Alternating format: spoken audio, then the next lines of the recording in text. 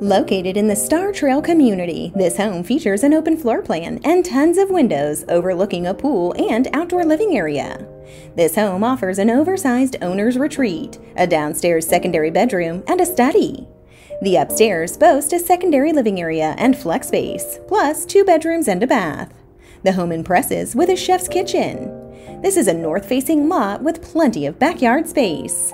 The community offers trails, pools, tennis, and more. Make yourself at home by scheduling a tour with Karrie Johnston.